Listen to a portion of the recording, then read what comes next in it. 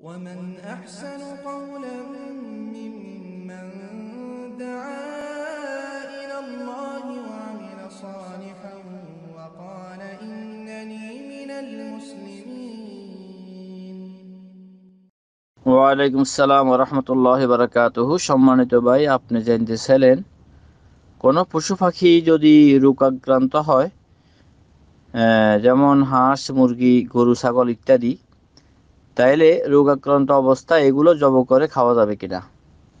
হ্যাঁ সম্মানিত ভাই, যদি নাকি এই ধরনের অসুস্থ হয় যে এগুলো খেলে মানুষের স্বাস্থ্যের জন্য কোনো ক্ষতি হবে না। তাইলে এগুলো জবাই করে খেতে কোনো সমস্যা নেই, বরং জবাই করে এটাকে কাজে লাগাই দেওয়াই ভালো। আর যদি মনে করে যে এমন আক্রান্ত, এটা মানুষের শরীরের জন্য ক্ষতিকর তাহলে অবশ্যই এটা যে খাবে না। লা দরর ওয়ালা দারার। নিজের ক্ষতি অন্যের ক্ষতি করা এটা ইসলামে অবৈধ।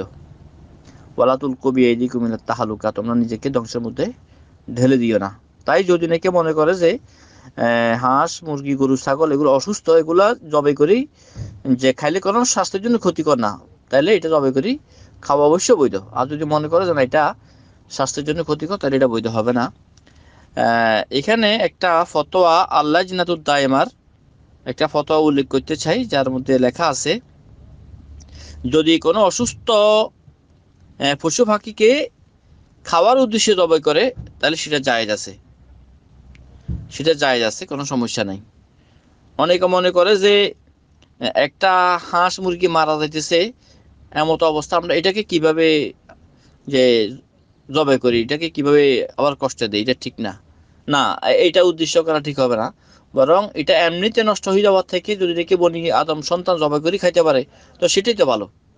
এটা না যায় অন্য কিছু না। তবে কেউ যদি এটা মনে করে যে এই পশু পাখিটা মরে যেতেছে, কষ্ট পাইতেছে, আমি এটাকে জবাই করে দিই, যাতে করে তাড়াতাড়ি মারা যায়। না, এ নিয়তে এটা জায়েজ হবে না। যদি খাবার নিয়তে হয় তাহলে অবশ্যই এটাকে জবাই করি খেতে পারবে এবং সেটা বইতে হবে। আশা করি বিষয়টা বুঝতে পারছেন। বাকি আল্লাহ আলম সালামু আলাইকুম রহমতুল্লাহ বারকাতুহ।